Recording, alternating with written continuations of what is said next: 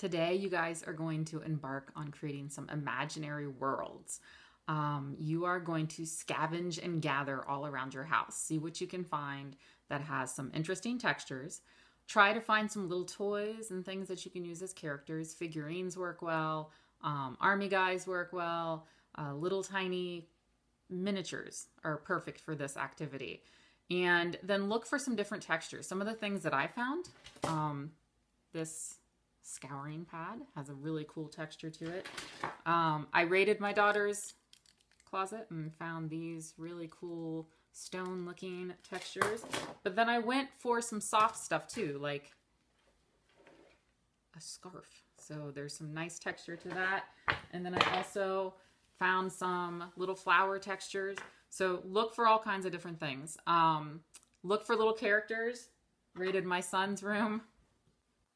Found a little monster and someone to save the day. So think about these little scenarios that you want to create.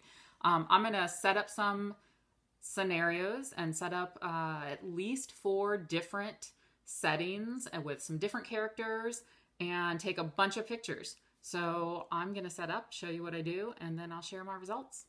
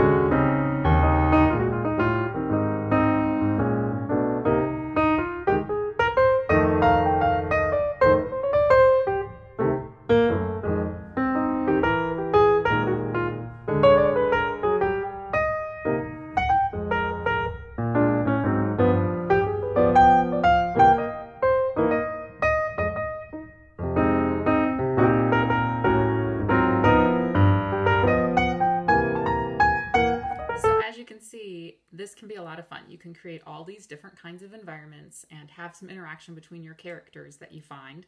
Um, really, really, the textures will look so cool once you flip them to some black and white pictures. Um, that's where the ambiguity will really show up is when we finish them. So I am going to do just that. Now, one thing that you probably didn't even pick up on in the time lapse is that the lighting needs to change.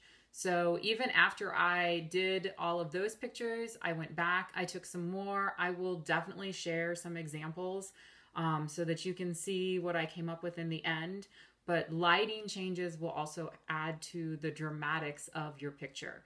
And then if you're using your cell phone, if you just tap on your screen in the part that you want to have in focus, it will focus maybe in the foreground or in the background. So I'm going to show you some things that I did that I got some little different results because of the way that I was trying to get my focus to change.